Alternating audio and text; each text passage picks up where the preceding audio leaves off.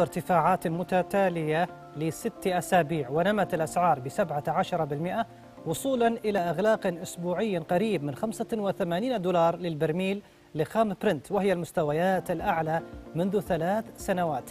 عزت بعض الشركات النفطية ذلك الزخم في الارتفاعات إلى الطلب العالمي مع بدء التعافي الاقتصادي العالمي من تداعيات فيروس كوفيد 19 إضافة إلى الارتفاع القياسي في أسعار الغاز الذي أدى إلى قيام شركات توليد الكهرباء إلى التحول للوقود القائم على النفط الخام لتوليد الطاقة الكهربائية وهو الذي ساهم في تعزيز الطلب على النفط.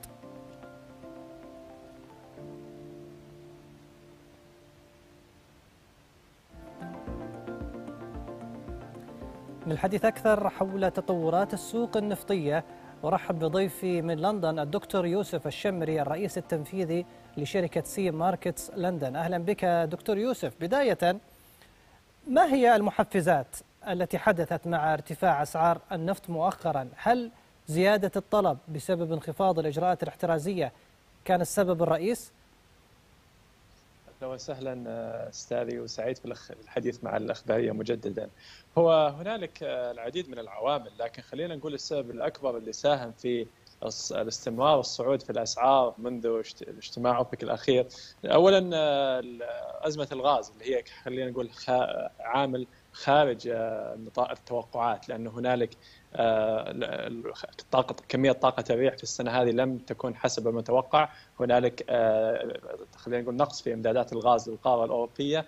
الارتفاعات اللي شاهدناها في أزمة الغاز كانت جدا عامل في زيادة الطلب على النفط. وأيضا العامل الأكبر هنا الاجتماع اللي حصل في أوبك بلس في مطلع هذا الشهر قرر اللي هو الاستمرار في الزيادة المقررة مسبقا اللي هي ال 400 ألف برميل. فبشكل أو بآخر هذا يعطي نوع من إنه هنالك قد يكون هنالك قلق من هي الإمدادات اللي تحتاجها الأسواق عالميا.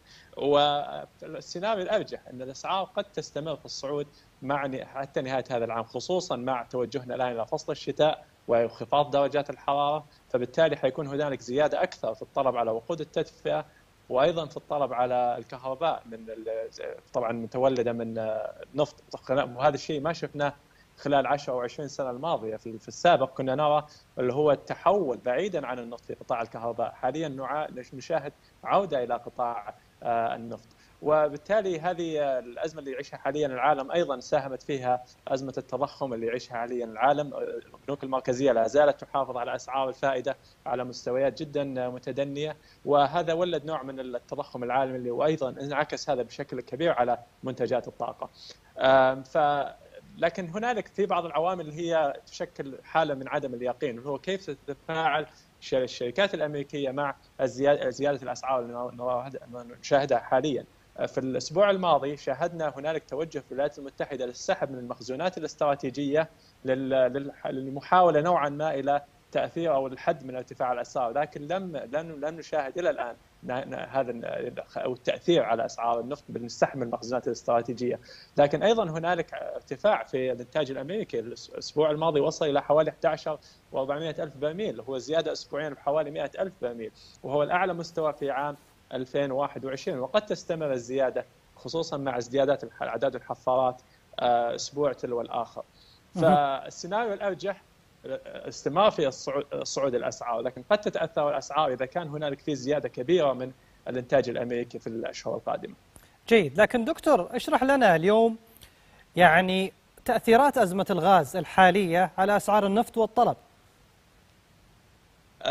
أزمة الغاز هو شاهدنا في الأسبوع الماضي في أسبوع الطاقة الروسي تصريحات الرئيس بوتين إنه مع ما نشاهده حاليا من النقص في إمدادات الغاز روسيا زادت إمداداتها للقارة الأوروبية بحوالي 10 إلى 15% لكن هنالك في نوعا ما حاليا اللي هو حالة من عدم اليقين حول خط النورد ستريم 2 آه وهذا المشروع إلى الآن لم يتم إنجازه. لو اشتغل هذا المشروع وعاد و يعني أكمل الإمدادات إلى القاره الأوروبية قد يساهم نوعا ما في الحد من ارتفاع أسعار الغاز وبالتالي يساهم في حد من الارتفاعات أو ارتفاعات الطلب على النفط، لأنه حاليا هنالك توقع في ارتفاعات الطلب على النفط فقط من قطاع الكهرباء بحوالي 500 إلى 500 ألف إلى مليونين برميل في الأشهر القادمة، فقط ذهب لقطاع الكهرباء.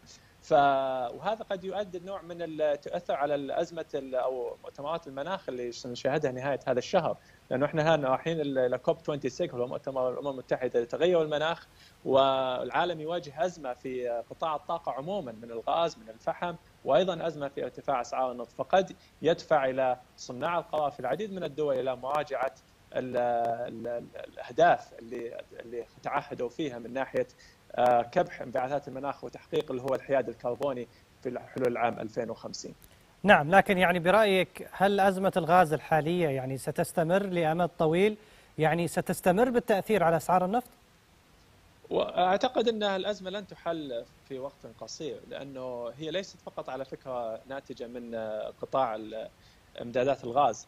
هنالك مشكلة تراكمية من إن انخفاض المخزونات في القاره الأوروبية على مدى سنوات طويلة ماضية، هنالك أيضا انخفاض كبير في الاستثمارات بسبب ان أسواق الغاز عاشت فترة طويلة من أسعار جدا متدنية، وأيضا بسبب إنه هو الطموح العالي لصناع القرار في أوروبا في تحقيق أهداف المناخ والابتعاد عن الوقود الأحفوري، فأعتقد إن الأسعار الغاز ستستمر في في المستويات العالية حاليا إلى أقل شيء عامين من الآن.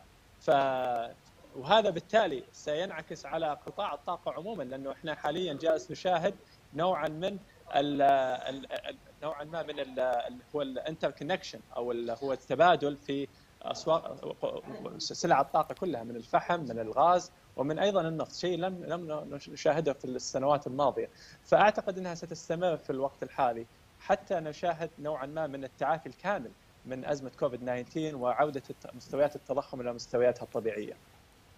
نعم بشكل مختصر دكتور هل تتوقع أن نرى خام برنت عند مستويات ال 100 دولار؟ لا أستبعد هذا وأيضا ذكرها رئيس بوتين في قبل كم يوم إنه لا نستبعد وصول ال 100 دولار وهذا السيناريو الأرجح حاليا لكن حسب ما ذكرت لك لو كان هنالك في صعود في الإنتاج الأمريكي قد هذا نوعا ما خلي يكون أكبر عامل قد يؤثر على إمكانية صعود أسعار النفط إلى مستويات ال 100 دولار. جيد. آه شكرا جزيلا لك الدكتور يوسف الشمري الرئيس التنفيذي لشركة سي ماركتس لندن.